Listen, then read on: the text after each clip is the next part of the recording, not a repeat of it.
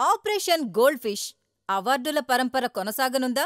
ఇప్పటి వరకు దేశభక్తి మీద కాశ్మీర్ మీద వచ్చిన సినిమాలన్నీ సూపర్ హిట్లే అయ్యాయి.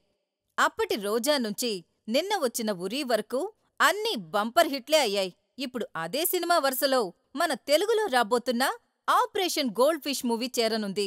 ఇటీవల హాట్ టాపిక్ అయిన ఆర్టికల్ త్రీ సెవెంటీ మీద మూవీ షూటింగ్ అయిపోయి రిలీజ్కి రెడీగా ఉంది.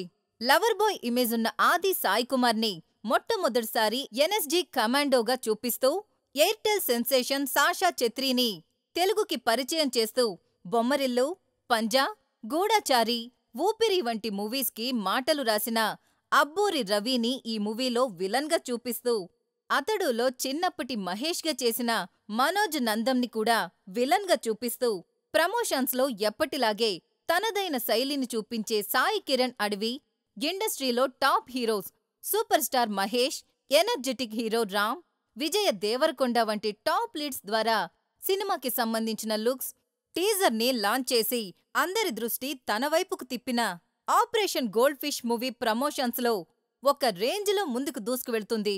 ఆ రోజుల్లో కాశ్మీర్ బ్యాక్డ్రాప్లో విడుదలైన రోజా మూవీకి మూడు నేషనల్ అవార్డ్స్ రాగా గత సంవత్సరం రిలీజ్ అయిన ఉరీ మూవీకి నాలుగు నేషనల్ అవార్డ్స్ వచ్చాయి. సెంటిమెంట్ని ఎక్కువగా నమ్మే మన తెలుగు ఇండస్ట్రీలో ఆల్రెడీ మంచి బస్తో వెళుతున్న ఆపరేషన్ గోల్డ్ ఫిష్ కూడా కాశ్మీర్ బ్యాక్డ్రాప్ కాబట్టి ఈ సినిమాకి కూడా నేషనల్ అవార్డ్స్ వచ్చే అవకాశం ఉన్నట్టు ఫిలిం నగర్లో గుసగుసలు వినిపిస్తున్నాయి.